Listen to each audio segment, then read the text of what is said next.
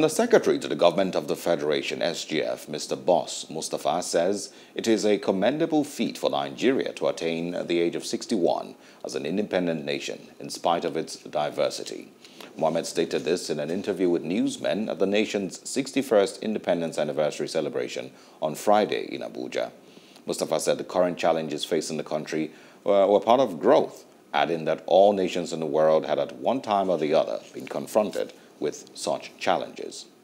Hello, hope you enjoyed the news. Please do subscribe to our YouTube channel and don't forget to hit the notification button so you get notified about fresh news updates.